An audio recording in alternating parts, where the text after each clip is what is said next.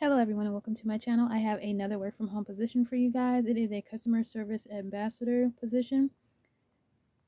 And let's go a little bit down so you can just get an idea of what this job entails for. You'll be responding to calls, emails, or chats from customers who have questions, assisting with website or application related issues, answering questions regarding products or services the customers may have.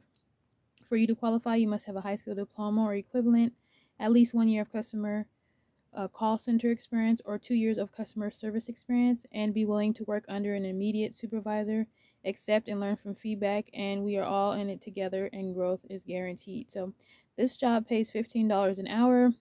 This is a W-2 position. This is a full-time position. Part-time hours are not available and the training pay is $15 an hour as well. So if you're interested in this job, make sure you guys click the link in the description and I hope you have a blessed day. Take care. God bless you. Bye-bye.